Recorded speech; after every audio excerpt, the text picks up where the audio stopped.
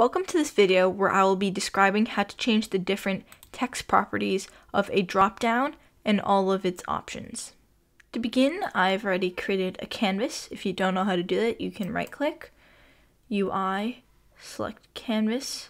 When you create a canvas, make sure to change the scale so that scale with screen size. When you first create it, it's constant pixel size, so make sure to scale it. Now if we right click on our canvas, go to UI, we can select that drop down. Now in the drop down, you can easily change the text of the options. So let's say I want to say hi, bye, and hello. So that if we were to play it, our text is easily changed.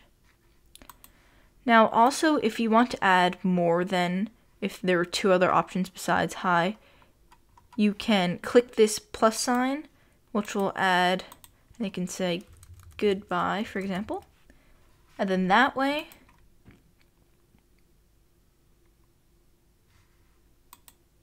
you can add another element.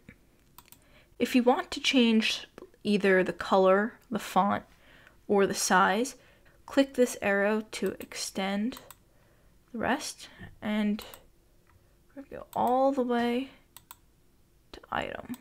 Okay. So there are going to be multiple things you have to change. First, you're going to click label. And as you can see, hi. So that's really going to be the first option that we see here. And so the font is currently Arial, and you can change that. I've created a folder with a bunch of fonts that I like. And I can drag. And so at first you see that the font disappears. And that's because the font is too large and it's currently wrapped. So if we overflow for both of these, hi is there again. And now we can also change the size. We can make it smaller, can make it larger. Then we can also change the color down here. So if I want to make it red, I can do that as well.